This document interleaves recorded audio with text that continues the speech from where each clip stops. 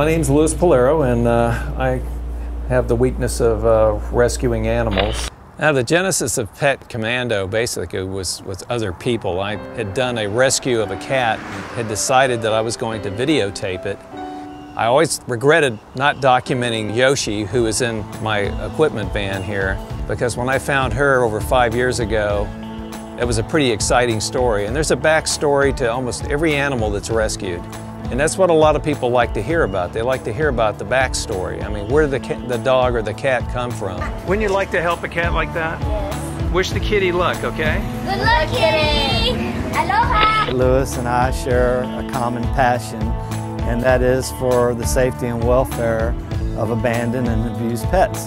And he decided to go into production on this endeavor. I just knew I had to be a part of it.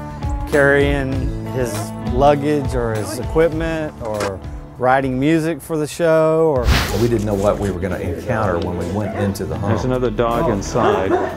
Bad? The smell. Oh. Take a deep, deep breath. I hear more dogs. Oh, oh my God. Oh my God. That was a pretty traumatic thing, seeing so many animals being neglected and suffering in one location, surrounded by a neighborhood full of people and it seems that only a few people cared enough to step in and feed these animals and have the courage to contact somebody. First time I met Lewis, he was bringing Yoshi to get groomed and one day he spoke to me about a cat that he rescued which was Cleo from episode one. He told me I could check it out on YouTube so I went home and watched it that night and was pretty compelled by what I saw him do with that. Hi kitty. Here we go. You're gonna go to the vet and I'm gonna fix you up. She's very, very happy where she's at, and Yoshi's happy for her too.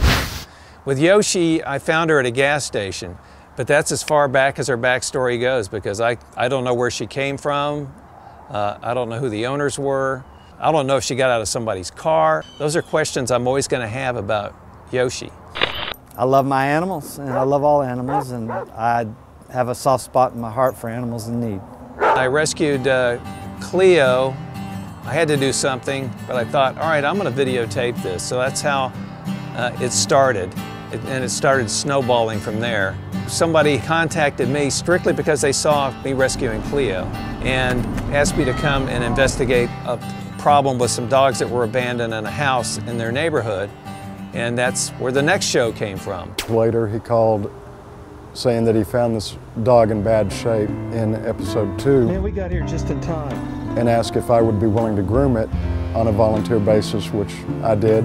Uh, a little bit reluctantly because he said it was going to be filmed. We decided, hey, we could probably save a lot of animals, get a lot of people to become their own little pet commando, encourage people to go out there and try and rescue uh, animals that are in really bad situations. Yeah, and then I rescued two Shih Tzus, but they're in good shape, so I have to bring them in. The word is Shih Tzu. Shih Tzu? Shih Tzu. She, uh, she's ignoring me. This is a part of the hazards of bringing dogs into the house, especially Shih Tzus. And when I went there, uh, and saw the dog in the shape that it was in. And as I got to working on it, I just, you know, I wanted to be a part of anything in the future that I could help with to try to further the project along. I decided any animal that I was going to rescue, I would find a home for it. Until I found Yoshi. I guess we just fell in love with each other. She was just the perfect animal.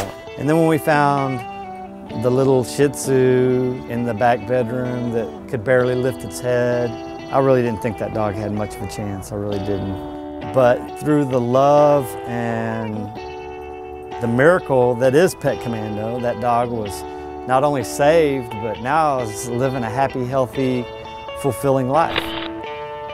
It's an ongoing disaster because uh, people are constantly losing their homes, uh, getting animals they don't want to take care of, that they just end up abusing.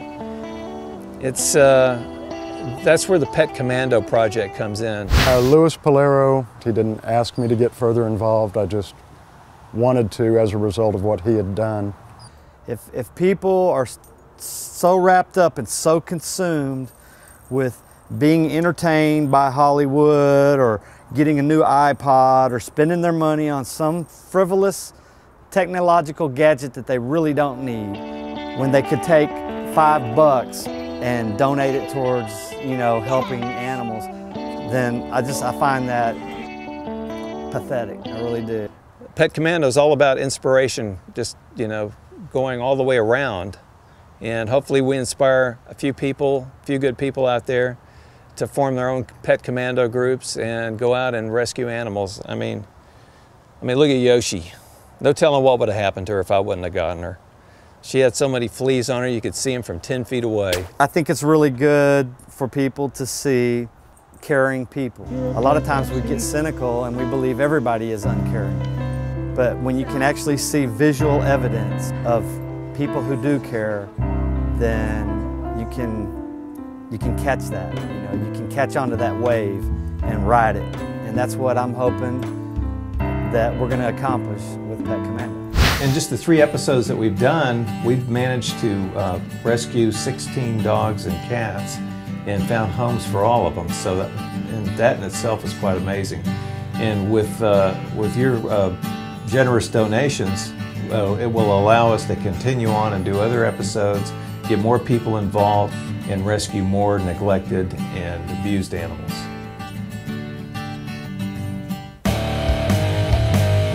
Pet Commando. He's Pet Commando.